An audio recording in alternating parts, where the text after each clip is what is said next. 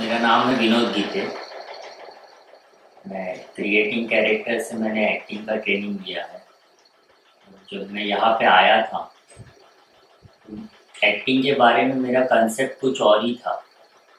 मेरा पर्पस कुछ और था। बट ये जो पाँच महीने हैं, इसमें जो Samar sir, Rupesh sir, Vijay sir and और भी जो इंस्ट्रक्टर्स आते थे, हमें सिखाने के लिए, जैसे नटराज सर हुए या ईशान सर है क्लाउनिंग लेते थे ये जो पाँच महीने का जो प्रोसेस है, मेरा एक्टिंग के लिए जो थॉट है, वो पूरा चेंज हो गया है।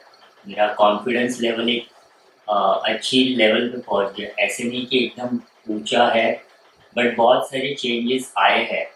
पर्सनल लाइफ में भी, मेरी वॉइस में।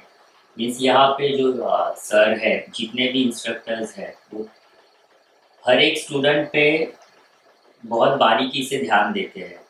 ऐसा नहीं है कि जस्ट सिखा दिया तुम्हें करना है करो या नहीं करो। बट वो जो स्कूल में पनिशमेंट मिलता था टीचर्स के थ्रू ऐसे लग रहा है कि मैं सच में आ, अपने स्कूल में ही बैठा हूँ।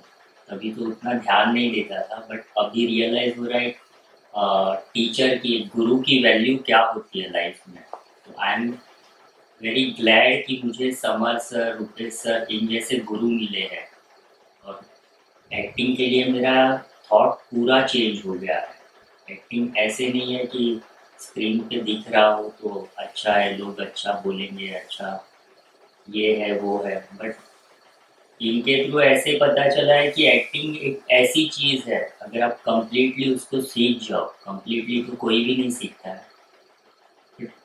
जो चीज़ जो सुख तुम्हें अंदर से मिलता है वो उसकी कोई वैल्यू नहीं है।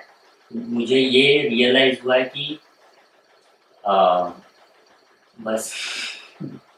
और यहाँ के स्टाफ भी बहुत अच्छे हैं जो आ, हर एक स्टूडेंट के जितने भी स्टाफ है जैसे परवेश हुआ राजकुमार था किशन है नीरज सर है सॉरी राजकुमार ये सब जो ध्यान देते थे, हमें जो कैंटीन में फ़ूड मिलता है वो भी क्लीन होता था।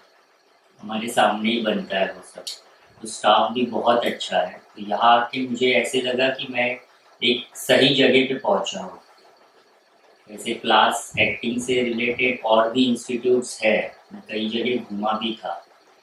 तो इनका जो तरीका है ऐसे नहीं है कि फ़ीस लेना है देन कोई रिलेशन नहीं रखना है। तो मुझे यहाँ पे ऐसे लगा कि मैं अपने फैमिली में कुछ सीख रहा हूँ तो एक फैमिली वाला फील था। Actors